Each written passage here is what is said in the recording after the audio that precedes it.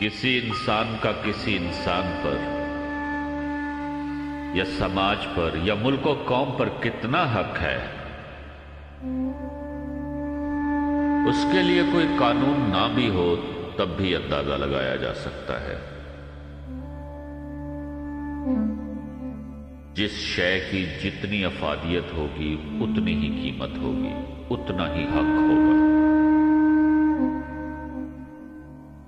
हकूक का तयन हकूक का एहतराम और हकूक की अदायगी को तोज़न कहते हैं। हकूक की हिफाजत मीज़ान है। हकूक का लिहाज करने वाला मुआशरा एक मतवाजन और फलाही मुआशरा कहलाता है। ज़िंदगी हकूक से बाहर निकल जाए तो सरकश बागी हो जाती है। इसकी तमाम कदरें पामाल होकर रह जाती इसका तमाम जमाल खत्म हो जाता है। अगर ज़िंदगी हकूक से महरूम हो जाए तो एक बेबस, महकूम शय बन के रह जाती है। कामयाब मुआशरा वही है कि चुपके से फ़राइज अदा होते रहें और चुपके से ही हकूक अदा होते रहें। जिस दौर में इंसान को हुकूक के, हसूल के लिए जिहाद करना पड़े, उसे जब्र का दौर कहते हैं। और अगर हुकूक के, हसूल के लिए सिर्फ़ दुआ का सहारा ही बाकी रह जाए तो उसे जुल्म का जमाना कहते हैं। और वो जमाना जिसमें कुछ लोग हक से महरूम हो और कुछ लोग हक से ज़्यादा हासिल करें, उसे अफरा तफरी का जमाना कहते हैं। जहाँ हर शय, हर जिन्स एक ही दाम फरोख्त होने लगे, उसे अंधेर नगरी कहा जाएगा।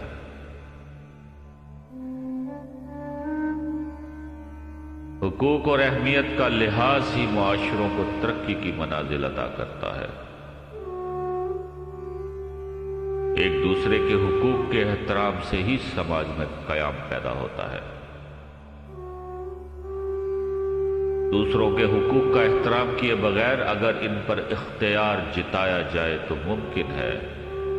कुछ अर्सा के बाद जिताने के लिए इख्तियार ही न रहे। हुकूक की अदायगी मोहब्बत पैदा करती है और हुकूक की पामाली नफरत। मोहब्बत इतात पैदा करती है और नफरत बगावत ताकतवर हुकूक अदा करता रहे तो ताकतवर ही रहेगा। हुकूक ना अदा करने वाला जालिम कहलाएगा। और जालिम से ताकत छिन जाएगी। ये कुदरत का असूल है। इंसान पर एक ज़िंदगी में कई हुकूक वाजिब अदा है। तफसील बयान करना नामुमकिन है।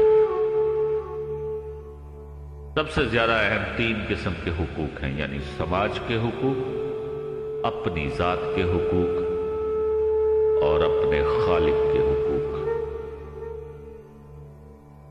समाज के हुकूक में, कौम के हुकूक, मुल्क के हुकूक, हकूमत के हुकूक, पास रहने वालों के हुकूक और उन लोगों के हुकूक जहाँ इंसान मुअसर होता है।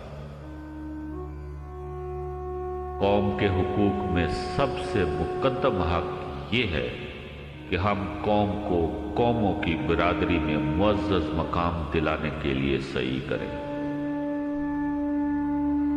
कौम अफराद की मेहनत से सरबुलंद होती हैं। हम अपने मफाद को कौम के मफाद पर कुर्बान करना सीख लें तो कौम तरक्की करना शुरू कर देगी। अगर अफराद कौमी मनफियत को ज़ाती मफादात पर निसार करते हैं तो नतीजा मुनासिब नहीं हो सकता।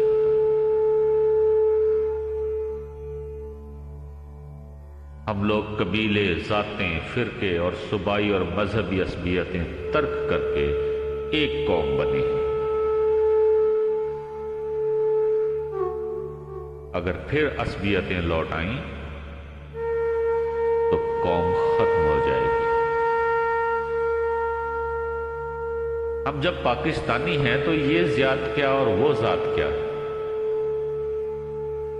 सिंधी बलोची, पठान, पंजाबी, क्या मायने हमारी कौमी शनाख्त पाकिस्तान के दम से। हम पाकिस्तानी हैं। हमें पाकिस्तानी ही रहना चाहिए। ये कौम का हक है। कि हम इनफरादी तशखस की बजाय इजतमाही तशखस के हसूल के लिए कोशा रहे हम पर मुल्क के हुकूक अदा करना ज़रूरी है। हम वतन परस्त रहें। हम मफाद वतन अज़ीज़ रखें। हम वतन की आबरू पर आँच न आने दें। मुल्क की वहदत और सलामती का ख्याल रखें। हम सब मुल्क के मुहाफिज हैं। हम ही मुल्क का सरमाया है। मुल्क ने हमें एक कौम बनाया, एक वहदत बनाया। इस मुल्क के हसूल के लिए बड़ा खून कुर्बान किया गया। बड़े कठिन मराहल से काफिला गुजरा है। बड़े मुश्किल जमाने आए हैं इस कौम। बड़े तूफानों से गुजरा है हमारा मुल्क। हमारे छोटे से सफ़र में एक बड़ा सा हादसा भी रोनुमा हो चुका है। अभी हम अपने मुल्क के हुकूक का मुकम्मल ख्याल नहीं रखते। छिन जाने के बाद बहिश्त की कदर होती है।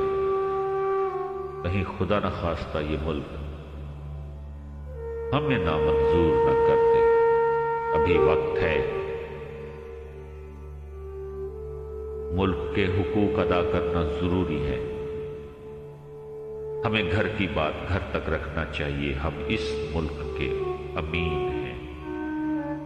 ये मुल्क हमारा मुहाफिज है। मुल्क सलामत है तो हम सलामत हैं। ये नहीं तो हम कहाँ?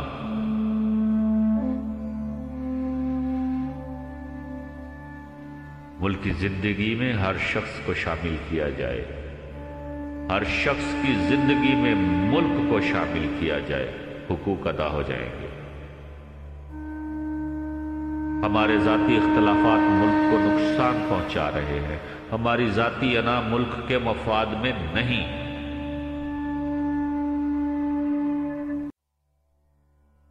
मुल्क हुकूमतों की ज़िम्मेदारी होते लेकिन अवाम के बगैर मुल्क सिर्फ़ जोग्राफिया ही तो है। सिर्फ़ मट्टी हुकूमत और अवाम मिलकर वतन की तामीर करें तो तरक्की होगी। अवाम का हक है कि उन्हें पुरसकून ज़िंदगी मिले। उनकी नींदें पुरसकून हो। दिन पुरसकून, रातें पुरसकून। तरहद महफूज, जानो माल महफूज। मुस्तकबिलो हाल महफूज। गर्जी है कि ज़िंदगी अपनी तमाम रानाइयों समेत सलामत रहे। और अगर खुदा न खास्ता मुल्क पर कोई उफ्ताद पड़े तो हर ज़िंदगी मुल्क पर निसार होने के लिए बेकरार हो। इंसान पर इसकी अपनी जात के बड़े हुकूक वाजिब अदा है। अपने ज़ाहिर के हुकूक, अपने बातिन के हुकूक। ज़ाहिर के हुकूक ये है कि हम अपने आप को एक बाइज्जत शहरी बनने के लिए तैयार रखें। अपने दौर की राइज तालीम का हसूल फ़र्ज़ है। हमारा हम पर हक है कि हम अपने आप को गिरदोपेश से बाखबर रखें।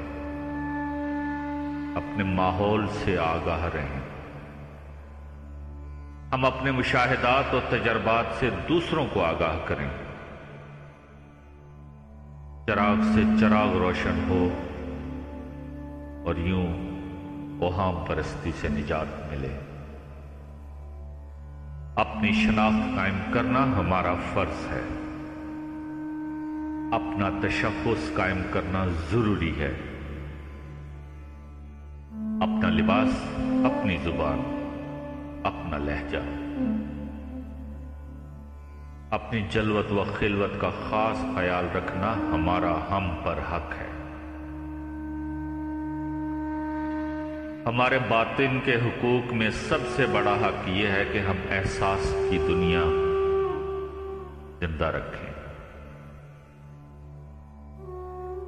हम अपने दिल को महसूस करने वाला बनाएँ। सोचने वाला जहन और महसूस करने वाला दिल नसीब वालों को अता होते हैं। हम अपने आप को अपने मज़हब से इल्मी और अमली तौर पर आशना रखें तो हुकूक अदा होंगे। मज़हब सिर्फ़ तालीम नहीं मज़हब सिर्फ़ अमल नहीं, मशीन की तरह। हमें अपने मज़हब के साथ एक शौरी लगन होनी चाहिए। दीन और दुनिया की फलाह का हसूल हमारा मुद्दा होना चाहिए। हमारी मसाजिद हमारे लिए फलाही मराकज बन जाए तो एक खूबसूरत इनकलाब आ जाए।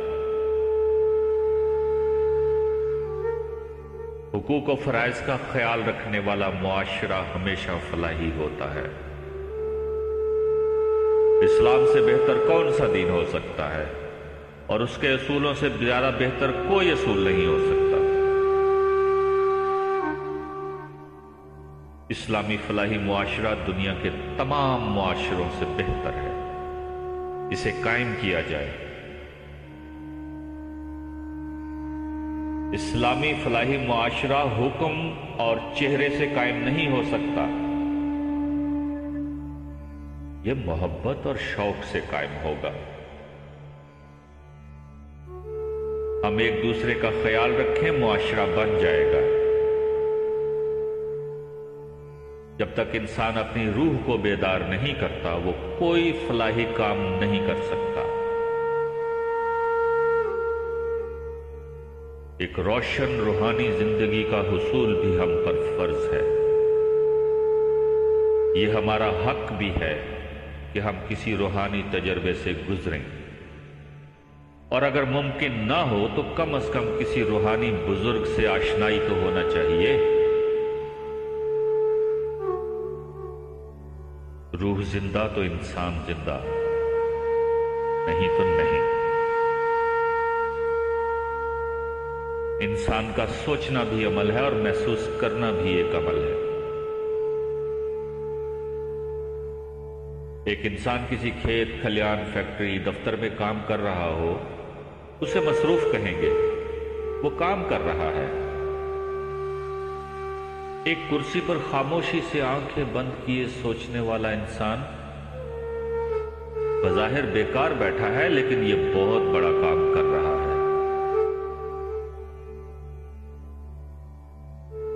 फ़िक्र के समुद्रों में गौता लगाने वाले गौहर मुराद निकालने वाले लोग मोहसिन कहलाते हैं। ऐसे लोगों की फ़िक्र ही उनका अमल है। साहब, फ़िक्र होना भी हमारा फ़र्ज़ है। हमारा ये हक मुकदम है कि हम खुद को साहिब ख्याल बनाए साहिब फ़िक्र बनाए। कौम को नई मंजिलों से आशना कराने वालों का एहतराम सब पर फ़र्ज़ है। उनका हक है कि उनकी हिफाजत की जाए, उनका ख्याल रखा जाए। इंसान पर सबसे अहम हक खुदा का है। ज़िंदगी देने वाला चाहता है कि ज़िंदगी उसके बताए हुए रास्ते पर चलाई जाए। वो चाहता है कि उसके महबूब सल्लल्लाहु अलैहि वसल्लम का रास्ता ही महबूब रास्ता हो। अल्लाह करीम इंसानी ज़िंदगी को अपनी तरफ़ गामजन देखना चाहता है। वो चाहता है कि इंसान उसकी तरफ़ रुजू रखे, उसकी तरफ़ सफ़र करे, उसकी तरफ़ गामजन रहे। खुदा से गाफिल रहने वाली ज़िंदगी इजाबात में खो जाती है। फालक के ख्याल को छोड़कर मखलूक के ख्याल में गुम होने वाला इंसान तीनों दुनिया के खसारे में रहता है। अल्लाह हमें एक हमेशा रहने वाली सरशारी की तरफ़ दावत देता है। वो चाहता है कि हम इस आर्जी ज़िंदगी को ऐसे उसूलों के मुताबिक बसर करें कि अबदी हयात हासिल कर सकें। वो हमें हकीकी खुशी और सरखुशी से तारुफ कराता है। वो अपने महबूब सल्लल्लाहु अलैहि वसल्लम की मोहब्बत से नवाजता है। वो हमें एक कामयाब ज़िंदगी से तारुफ कराता है। हम पर फ़र्ज़ है कि इसकी इतात करें। ये उसका हक है। सब हकूक से मुकदम हक जो हमें अदा करना है। ये एक ऐसी अदायगी है जिसमें कोई माजूरी, कोई मजबूरी आड़े नहीं आ सकती। ये वो फ़र्ज़ है जिसके अदा ना कर सकने का कोई जवाज माकूल नहीं हो सकता।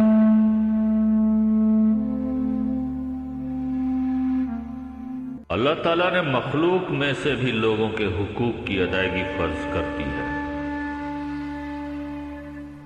मसलन अल्लाह ने फरमाया कि माँ बाप की इतात करो। यहाँ तक कि उनके आगे उफ भी ना कहो। और अगर वालदेन बढ़ापे में पहुँच जाएँ तो उनके लिए अपने बाजू रहमत और शफकत के बाजू बना दो। और दुआ करोगे, हे अल्लाह, मेरे वालदेन पर ऐसे रहम फरमा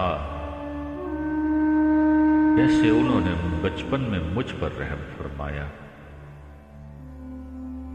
माँ बाप की इतात हुकूकल इबाद में शामिल है। लेकिन हुकूक इबाद अल्लाह ही के मुकर्र किए हुए हैं। यानी हुकूक इबाद भी हुकूक अल्लाह ही हैं। अल्लाह ने फ़र्ज़ कर रखा है कि लोग अल्लाह के महबूब वसल्लम की इतात करें। हुजूर सल्लल्लाहु अलैहि वसल्लम की आवाज़ से ऊँची आवाज़ तक न निकालें।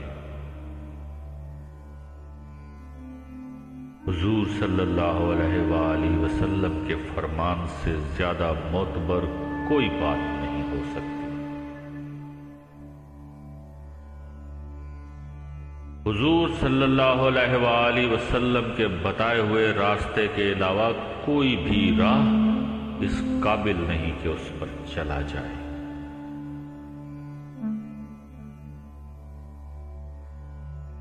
इंसान अल्लाह के बताए हुए हुकूक अदा करता चला जाए तो फलाह यकीनी है। रहा इंसान का अपना हक अल्लाह पर वो तो इंसान ने पैदा होते ही हासिल कर रखा है। उसके पैदा होने से पहले खुराक का इंतज़ाम कर दिया गया था। उसकी परवरिश करने के लिए वालदेन मौजूद थे। उसके इस्तकबाल के लिए पूरी दुनिया मौजूद थी। उसे आँखें अता कर दी गईं। और देखने के लिए खूबसूरत कायनात मौजूद थी। यहाँ तक कि इबादत के लिए मस्जिद तक मौजूद थी। इसके बावजूद अल्लाह का इरशाद। क्या है बंदे, मांगो तुम्हें क्या चाहिए? अल्लाह दुआएँ सुनता है, कबूल फरमाता है। उसने मौसमों को हुक्म दे रखा है कि इंसान के लिए मुनासिब हवा और खुराक का इंतज़ाम किया जाए।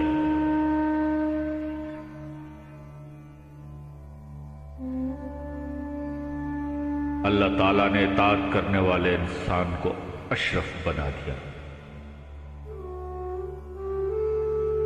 ज़मीन और आसमान मुसखर करने वाला इंसान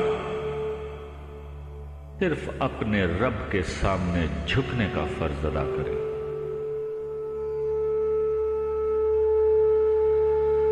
इसे हर चीज़ को झुकाने का हक है। सबको नुगू करने वाला अपने मालिक के सामने नुगू हो जाए, ये हक है।